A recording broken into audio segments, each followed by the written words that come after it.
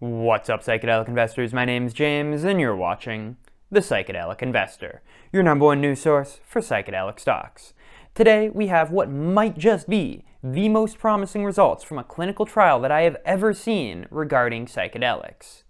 Yesterday, or on May 3rd, the New York Times released data from a MAPS Phase 3 clinical trial testing treating PTSD with MDMA, and the results are wow. The top line number is at 67%. Two thirds of people suffering with PTSD were cured after MDMA assisted therapy sessions. Not they had their symptoms relieved a teensy weensy little bit or they got a little bit better. No. These people improved so much that they no longer qualified to be diagnosed as having PTSD. This is utterly stunning. We're going to get into the details of this study, what comes next, and which companies are using MDMA in their programs. But first, if you enjoy this episode, invest in the channel with your like and subscribe. Over time, you'll see your investment grow as we continue to bring you the information that you need to know before investing in the psychedelic medicines landscape. Enjoy the episode.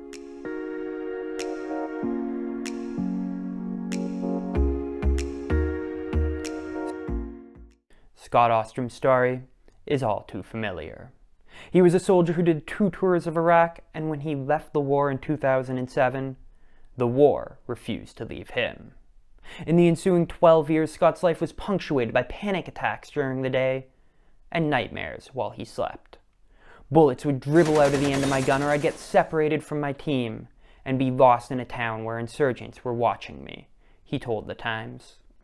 His PTSD was destroying his life. He dropped out of college, pushed away his family and friends, was charged with assault, and he attempted suicide. Throughout this spiral, neither medication nor therapy could help. And it was in this context that Scott joined the MAPS funded clinical trial to treat PTSD with MDMA. In the first of three sessions after consuming the drug, Scott laid on a couch in a lucid dream like state where, with his eyes covered, he encountered a spinning, oily black ball. Like an onion, the ball had many layers, each one a memory. And after peeling back the memory ball layer by layer, when he finally made it to the center, Scott relived the moment in Iraq that was the cause of his PTSD. And at that moment, faced with his trauma for a second time, Scott said this I became the person I needed to be to survive that combat deployment. Over the next two sessions, he continued to meet his trauma head on, engaging with his PTSD alter ego, who he named the Bully, and asked for the real Scott to return. Once the trial wrapped up, Scott was a changed man. No longer did he suffer from the nightmares or panic attacks. To the times he celebrated, literally, I'm a different person. The reason I like calling this medicine is it stimulated my own consciousness's ability for self-healing. You understand why it's okay to experience unconditional love for yourself. The most heartbreaking part of Scott's story is that it's not unique. It's estimated that 7% of the American population will suffer from PTSD in their life, including 13% of combat veterans. As was the case for Scott, between a third and half of these victims can find no relief through classical treatment, making their condition chronic, lasting years or even a lifetime. This is tens of millions of broken people in the United States alone, not to say anything of the rest of the world. To give an idea of the monetary cost of this, which is of course secondary to the human cost. In 2018, the U.S. Department of Veterans Affairs spent $17 billion on disability payments for over 1 million veterans with PTSD.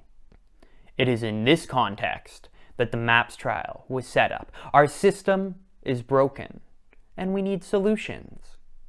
And if the solution is using a Schedule 1 drug like MDMA, better known as ecstasy, well then so be it. This phase 3 study, whose results will be published in Nature Medicine later this month, included 90 people. These individuals were combat veterans, first responders, and victims of sexual assault, mass shootings, domestic violence, or childhood trauma. All had severe PTSD and had been diagnosed on average for more than 14 years. Many had a history of alcohol and substance use disorder, and 90% of these people had considered suicide. These people were split into two groups those who took MDMA in a therapy setting and those who took a placebo and underwent therapy. Before any drugs were taken, preparatory sessions were undertaken with therapists to prime the individuals to confront their traumas. Then, in three separate eight hour sessions scheduled a month apart from each other, the patients either took MDMA or the placebo and together with the therapist confronted their trauma. Here, I want to emphasize that it is not just the MDMA, which is the medicine. The therapy is also important. As a senior author of the paper, Rick Doblin says, it is not the drug, it is the therapy enhanced by the drug. Well, we'll have to wait to get all the details once the results of the study are published. The top line numbers reported by the New York Times are revolutionary. Two months after the last MDMA dose, 67% of people in the MDMA group, two thirds of them, had improved so much that they no longer were diagnosed with PTSD. And this compares to 32% of people in the placebo group who just had therapy. Furthermore, there were zero cases of serious adverse side effects in the MDMA group. The lead author of the study, Jennifer Mitchell, said to The Times, This is a wonderful, fruitful time for discovery because people are suddenly willing to consider these substances as therapeutics again, which hasn't happened in 50 years. So, how does MDMA help dramatically with therapy? Well, apparently scientists still don't really understand how this works. According to the Times, this substance binds to proteins that regulate serotonin, a neurotransmitter that can, among other things, lift mood. Antidepressant medications like Prozac bind to these same proteins and block the reabsorption of serotonin, but MDMA takes this process further, causing the proteins to pump serotonin into the synapses, strengthening their chemical signal. MDMA also elevates levels of oxytocin, dopamine, and other chemical messengers, producing feelings of empathy, trust, and compassion. But its primary therapeutic effect may come from its seeming ability to reopen what neuroscientists refer to as a critical period, the window during childhood when the brain has the superior ability to make new memories and store them. Evidence from a mouse study published in Nature in 2019 indicates that MDMA may return the adult brain to its earlier state of malleability. So while this is all fascinating diving into the science, honestly, regardless of how it works, the results are stunning. Though, of course, we're obviously going to need to repeat this with thousands of people rather than dozens. I say this every time, it's true every time. The results are great, but we still need to repeat it much larger groups. Nevertheless, a phase 3 clinical trial which is structured using all the proper scientific protocols that shows MDMA therapy curing two thirds of chronic PTSD patients is game changing, revolutionary. Now, this is an investing channel, so let's talk about which public companies are set to be the largest benefactors of this study. So first up, we have Numinus. This company is actually working in conjunction with MAPS in Canada to conduct a compassionate access trial to those with PTSD. This trial is either already recruiting patients or is set to do so imminently. If Numinus can replicate these stunning findings, then they may get government permission to start using this treatment in their therapy centers, which currently only provide ketamine treatment for depression. This could allow them to gain a first mover's advantage and begin scaling up their therapy centers. Though perhaps the furthest advanced public company using MDMA, there's also lots of other companies hot on their heels. For example, MindMed is also working with MDMA and have recently completed a study on personalized dosing of MDMA. On top of this, they have a phase 1 trial looking at the effects of combining LSD with MDMA. However, it hasn't yet been disclosed what this will treat or which ailment this plans to treat.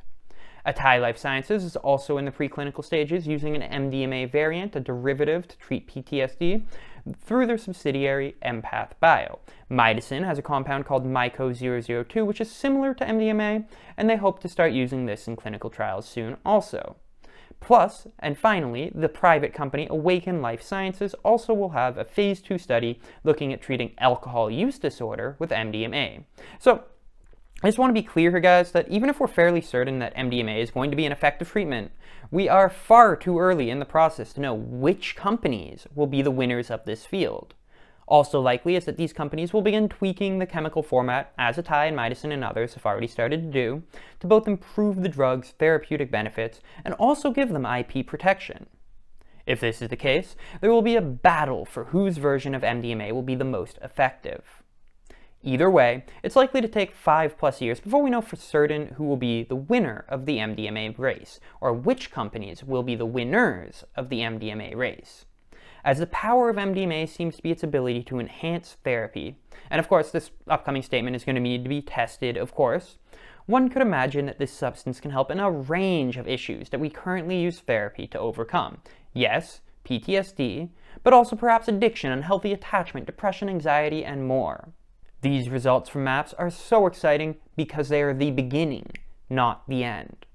This will spur so much more research into the field, not only into MDMA, but also into other psychedelics like LSD and psilocybin. Again, these results are extremely exciting, and it seems that we may, for the first time in decades, have a tool to help treat mental disorders. And this will revolutionize our society. We have so many millions of people suffering in silence from diseases of despair, and for the first time, it looks like there might be hope. As investors, there will be lots of opportunities in the coming five years to make a profit off of this, and this channel will be vigilantly keeping track of all of these companies and deciding which ones are best suited in this industry to do just that.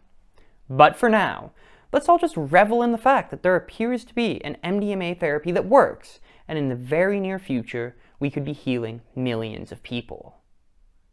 Today is a good day for humanity. If you enjoyed this episode, tell the algorithm with your like and subscribe. Not only will it help this channel continue to grow, but you'll also continue to see the information that you need to see on these topics. So this is James from the Psychedelic Investor, signing out for today. I'll see you guys soon. I love you all. Bye-bye.